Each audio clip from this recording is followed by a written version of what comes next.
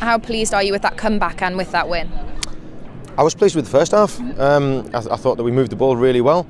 I said to the players at half time, if you give good opposition opportunities, um, they're going to punish you. And I thought that's what happened. I thought we were more than more than in the game in the first half. We just needed to be a little bit tighter at times, um, a little bit more switched on. But I thought in the second half we stepped onto the game a little bit more. But in both periods, I thought we played with a bit of tempo, a bit of pace, um, and I'm glad that we got our rewards at the end because I thought that we were more than more than equal to them in the first half. To defeat the Brazilian champions is pretty impressive, though, isn't it? It is, but let's take it for what it is. They made lots of changes and lots of disruptions, but we've stepped up to the game and actually. I thought we took the game to them really well, so we'll take real positives from this. It's been a great experience being out here. It's been good for the players to bond, but winning can be a habit, and I'd like to get into that winning habit, and I think the players would as well. Have you got more of an idea about your starting 11 after these two games?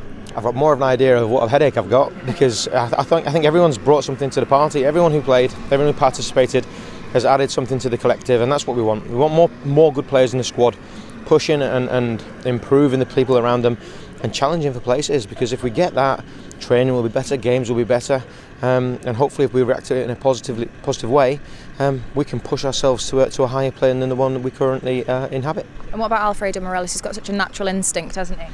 He's, he's just a happy guy because he scores goals, and, and, we wanted to get that from him. But I thought he was he was bright, he was lively.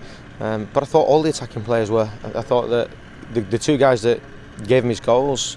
Murph had a really good combination with Daniel Candeias. Sean Goss's delivery was really, really good. But I thought overall their general understanding, considering they haven't really played together a lot, was really good and really pleasing for me. So the more that we can get together, the more that we can train together. Next week's going to be really good.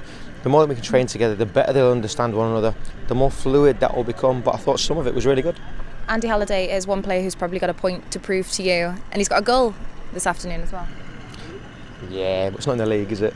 no, it's it's it's good because he got into the box really well. But I think what we have to do, we have to understand the 11 that are going to play are representing the whole squad. So the whole squad have to really push on and really take what we're doing to a, to a higher level. I've said to them all the way through, it's not their highest standard that will define us. It won't dictate where we finish in the league. It's where we allow ourselves to drop down to on a day-to-day basis. If we keep that standard high collectively, and it can't just be me, then we will get better. And I think we'll get better from what you just see and now at the end of the week, are you glad you came out here? Are you glad you played this tournament? Yeah, we, we, we, we took it because what we took it for, the staff and the players, we took it as an opportunity. Uh, and we took it in a positive manner to go and actually lay some really good groundwork for the second half of the season. What we have to do, we have to ensure we take the positive feeling that we've got right now and the positive bonding that we've had, and we take it into the second half of the season. It will be challenged. It will be challenged when we have negative results or things aren't going quite our way. What we have to do is draw back upon this experience um, and keep that with us, so that when it becomes difficult, we know what we've got in reserve, and we know that we're together, and we know that we're strong, and we know actually Got some really, really good players that are pushing on now. So hopefully we can take that positive spirit back home.